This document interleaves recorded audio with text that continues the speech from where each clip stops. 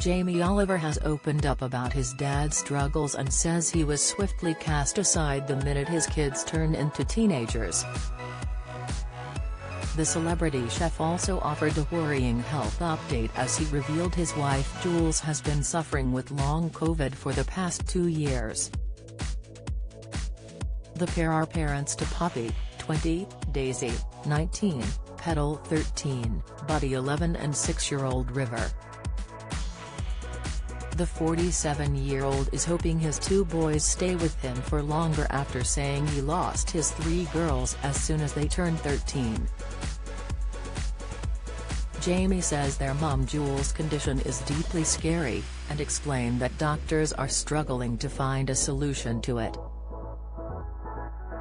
He says the family are coping with it as he candidly spoke about the difficulties of being a dad. I haven't done teenage boys yet but I found teenage girls very hard. I tried to be an on-point dad, it give myself 9 out of 10 for effort, he said when speaking to Mail Plus. Then the minute they get to 13, you're dumped. You're outside looking in. All you want is a few hugs a day and to be appreciated but there's a lot of chemistry going on, you never get the kid back after 13, they completely change. Jamie then called the day the children head off to university a bereavement. He also said he believes his kids' lives were made more challenging by having a famous father. Jamie has bemoaned that the medical profession don't know how to cure long COVID despite one. 8 million Britons saying that they are suffering, according to the latest figures from the Office for National Statistics. The TV chef and his ex-model partner, both 47, have been together since they were teens and tied the knot in July 2000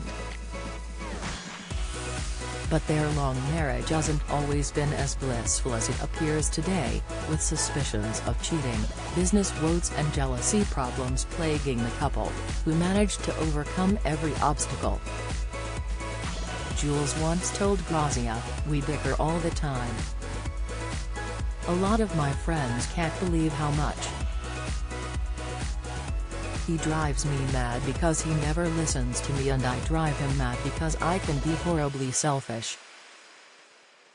And while Jamie has maintained he would never cheat on Jules, that did not stop his wife from having her suspicions. In 2011 she admitted to The Telegraph that she snoops on him.